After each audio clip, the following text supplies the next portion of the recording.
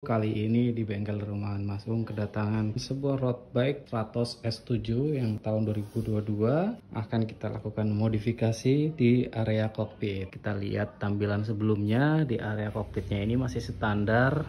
Nah, masih kelihatan kabel-kabelnya seperti ini. Akan di-upgrade dengan dropper. Kali ini menggunakan Vision Metron 5D. Diganti juga bar tabnya, inner cable-nya, olive connector untuk brake hidrolik. Sini ada kabel damper, kabel outer shifter dan brake hose-nya. Oke, sekarang kokpit yang lama dan juga pengkabelannya full dari kabel shifter dan brake-nya udah dilepas. Tiga kabelnya untuk RD, FD dan brake belakang. Dan jangan lupa kita kasih damper. Nah, sekarang waktunya di tahapan yang paling seru nih.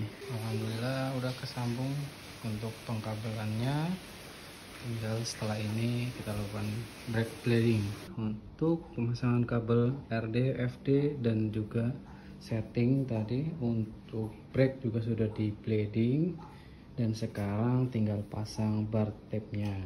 Oke alhamdulillah udah selesai. Nah ini tampilannya.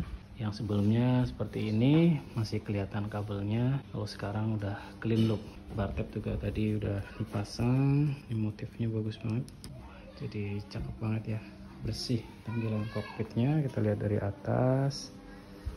Aero banget sih desain dari dropper Vision Metron 5D ini. Mantap